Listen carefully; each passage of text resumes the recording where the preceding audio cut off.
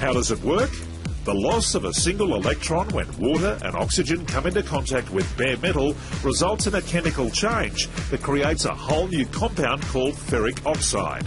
In other words, rust.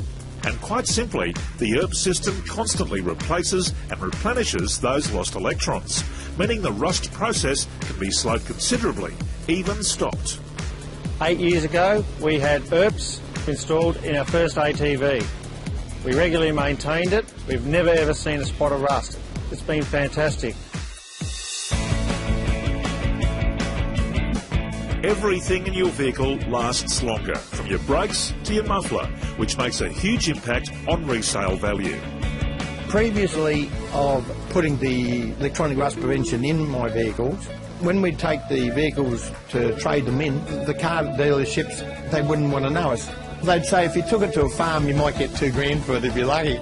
Since I was introduced to this uh, electronic rust prevention, the first two and a half years we, we had the vehicle, I took it in, and uh, the guy said, "Oh, geez, it's not a bad looking vehicle, and I might have to give you about twenty, twenty-two thousand for it." Well, I nearly fell off the chair. Do you need an electronic rust prevention system? My guess is yes, you do. All vehicles rust. If you live on or near the coast, like the majority of Australians, then rust is accelerated. Electronic Rust Prevention System protects your vehicle and it protects your lifestyle.